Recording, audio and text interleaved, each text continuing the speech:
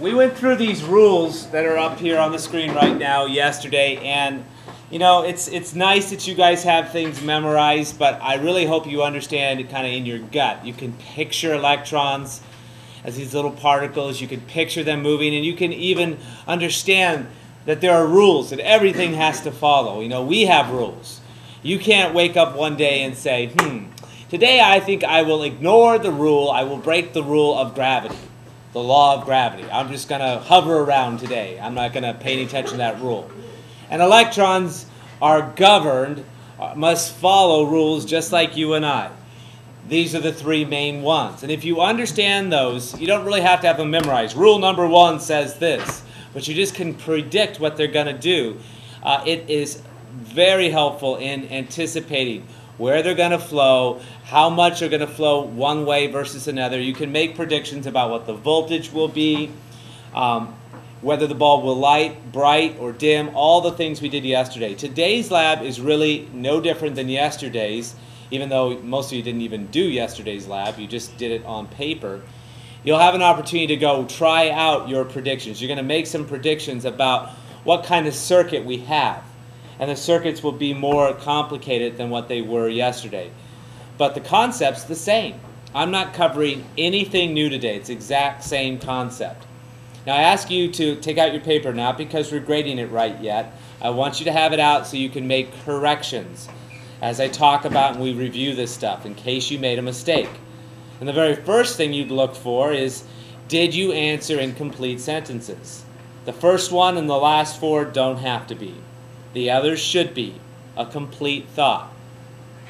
The second thing you might look for is when I ask a question like uh, that the bulb is removed. That means we have what kind of circuit? Open circuit, okay? And when I ask you, uh, why is this the case? Why is it brighter? Why is it dimmer? Why did it go out? Why did it stay on? I'm not looking for an answer like, it is in parallel it is in series. Because those don't really give me information. They just list a fact, but they don't explain why. What is it about a series circuit? What is it about a parallel circuit that make them unique, that affects the flow of electrons? Okay? Electricity is. circuit is. If I break that path, I have what kind of circuit? Open circuit. Okay, if it's complete, I have a closed circuit. If I provide an easier path that the electrons want to go through, but not what I want out of the circuit, I have a short circuit. In a short circuit, I might create a couple of undesired things. What might they be? Heat and Sparks. Sparks could lead to fire. Now, we don't always get sparks when we have a short circuit. When you made a short circuit out of your battery, you just got heat. We didn't have enough flow, enough current. But there are times where we can have sparks. Okay, you get a short circuit in one of these outlets. You're going to talk about making a fire, a, a real uh, fire hazard. Nathan? Oh, yeah. I'm sorry, I couldn't hear that. Right, right. And that's not the way we want to turn the lights out is by sticking a wire in the outlet like that. That's creating a, a, path that the electrons want to take because they will take the path of least resistance. Again, if you think about these rules every time, uh, you'll be able to predict what the electrons will do. And I'm going to ask you some questions today, some thinking questions as a quick review here to see if you truly do understand this concept. But it does come back to these three rules. Okay? They'll only travel forward. They're trying to get to the opposite side, and they will take the path of least resistance. As we look at this first circuit, okay, what kind of circuit is this? What's the relationship between these two light bulbs? Series. series. Well, here's your clue right here. It says series right at the top. okay? It is a series circuit. And I gave you a couple tests a couple ways to identify a series circuit. One method was trace both wires back. Whenever anything is hooked up to electricity, it has to have two connections. There has to be a way of getting electrons into, this to work here, get the electrons into the light bulb and also a way to carry them away back to the other side of the battery. That's the whole goal of those electrons. Now the little red arrows represent the electrons. I don't really like this simulation that much because in reality, you know they don't just go through this black wire here. They're going to come up and go through the light bulb filament and then back out. Up through the other light bulb filament and then back out. But the arrows do show you a flow. And, you know, it's funny because I talk about electrons and I say electrons want to do this and want to do that. And one year I had a student say, uh, Mr. Myers, are electrons little people? No, they're not little people. Okay, they're not little living things. They are just particles. And I'm just trying to get you to think of them like living things because it helps in visualizing. They can't say, you know, today I feel tired. I'm not going to move. Or I'm not going to go forward. I'm going to go backwards. They have to follow those three rules every time. And they'll always do the same predictable things. We know based on those three rules. Rule number one they want to go forward only. Rule number two, they want to get to the opposite side. Rule number three, they take the path of least resistance. In this case, it is the wire. They're going to go through the wire versus going from here over to here, jumping through the air. The air has too much resistance. So this is a series circuit. And just to prove to me that you understand, the other test I gave for telling if it's a series circuit is what would happen if we take out one bulb? If I were to remove, let's say, this bulb, I would leave a gap in the wire there. Would this bulb stay lit?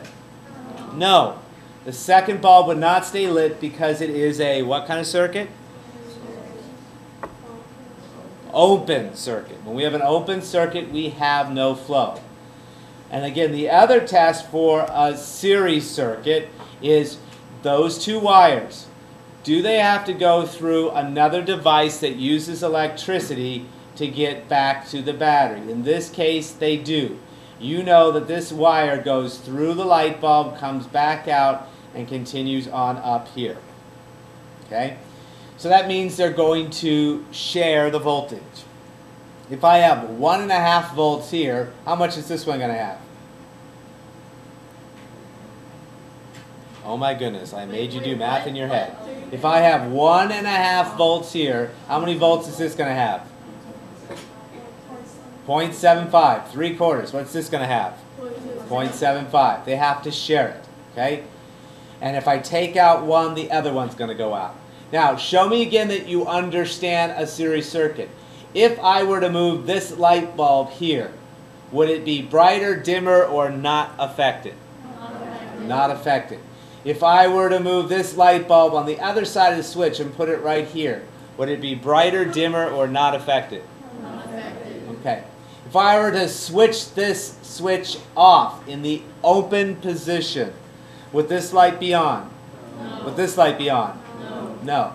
If I were to put the switch right here and put it in the off position, the open position, would this light be on? No. Would this light be on? No. no. So in a series circuit, you make a change. If I change the battery here, would that affect these? Yes. Everything's affected because they're all a part of that loop, that chain. Okay? Now when we look at a parallel circuit here, a light bulbs barely even show up because they're much brighter. Why are they brighter, Matt? Why are they brighter here? Nope, it's not a shorter path. Yes. Or put another way, they don't have to go through another device to get back to the battery. This light bulb has two wires. One's going to go this way, and the other one's going to connect here. Now you may be saying, oh, but wait, they have to go through a switch.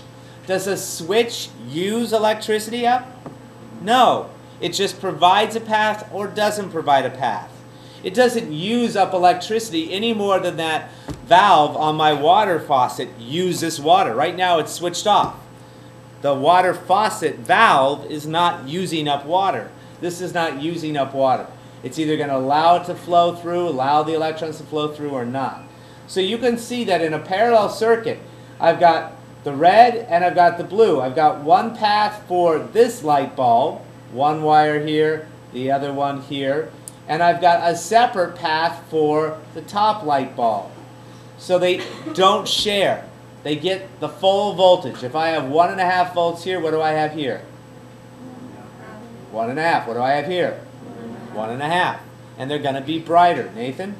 I have a question. If the, what if the, the wire was like a thousand miles long? Would that make the, would that make If the wire was a thousand miles long, it would have so much resistance that bulb wouldn't even be lit. The longer the wire is, if you run power lines, long, long distances, remember what I said we do for that? We're carrying alternating current, so the flow is going to be going back and forth, so that's a little different. But in order to carry electricity long distances, what do we do to the voltage? What do we call that?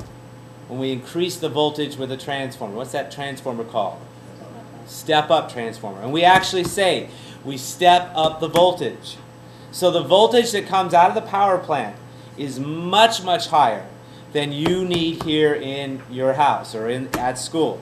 We bring it much, much higher. So the power lines you see that are really, really tall on the super tall power poles, those are going to have voltages that are much higher than you have in your house. As you get closer to the source where it needs to go to the house, you bring the voltage down. If I try to hook up a one and a half volt battery to a light bulb and I had a thousand miles of wire in between, even though the wire is a good conductor, being that long, it's going to create a lot of resistance to flow. And we wouldn't even see the light bulb light. Yes. Well, wouldn't it spark between the air because it's an easier path? Like the back? Wouldn't it do what? It spark between the north and south poles? Like, Well, first of all, there's not a north and south I pole. mean on the, I, I mean on the battery, on the north and south side. I mean, No.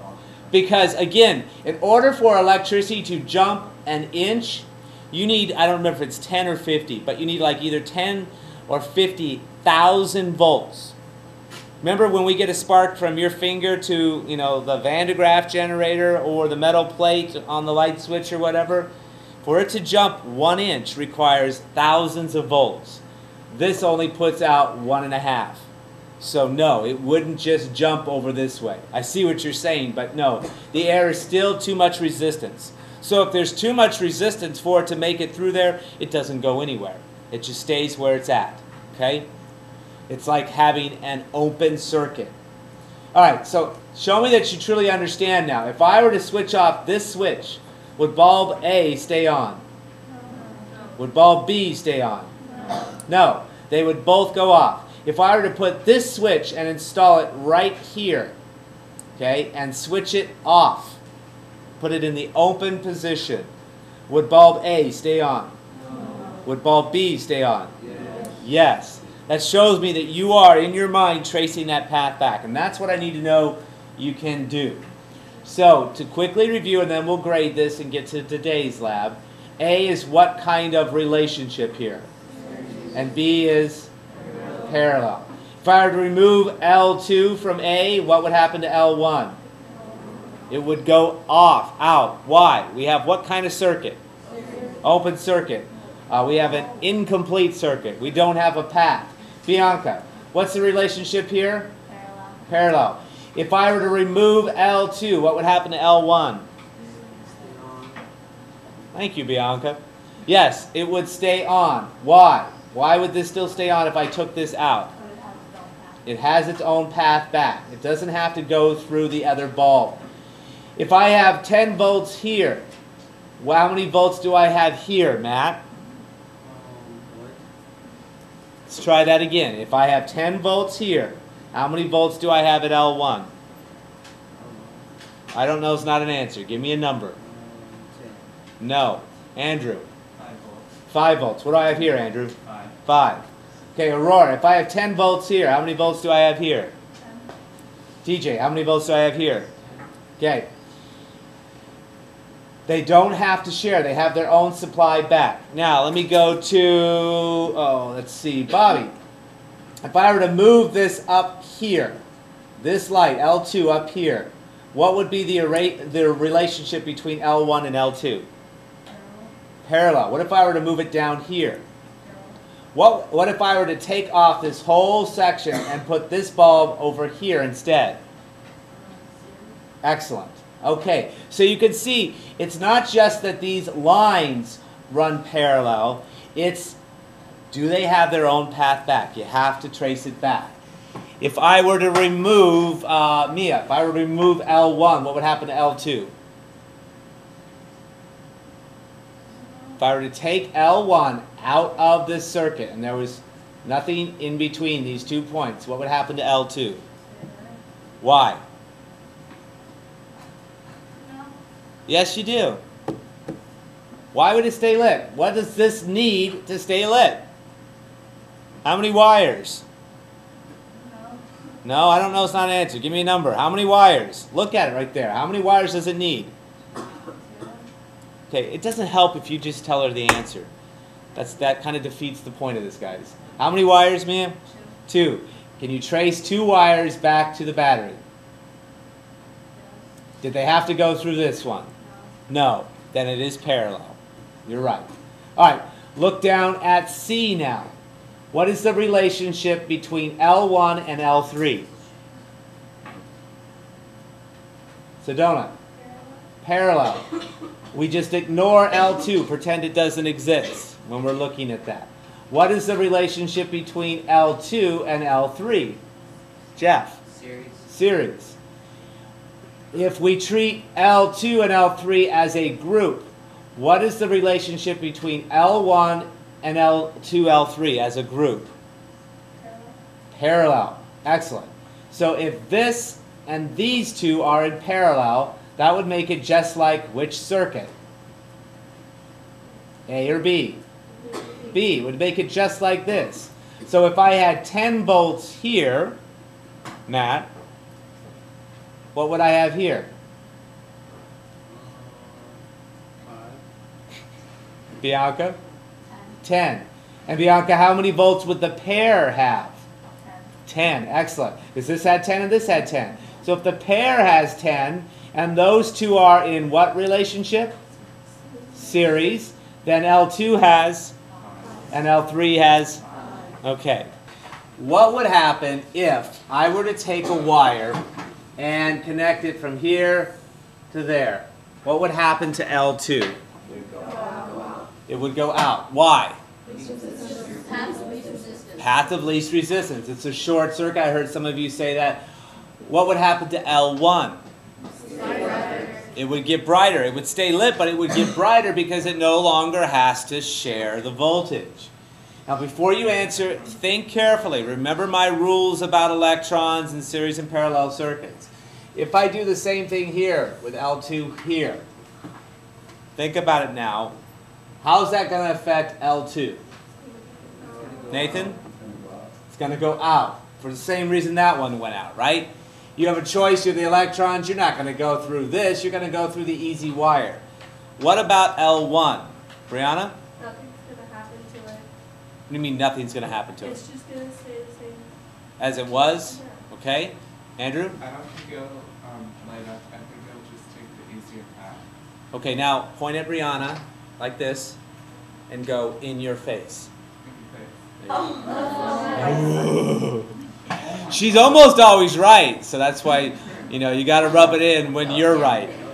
You're absolutely right, and a lot of people miss that. You're thinking, oh, well, I didn't touch this. Remember, that one never is affected because it's got its own thing going on.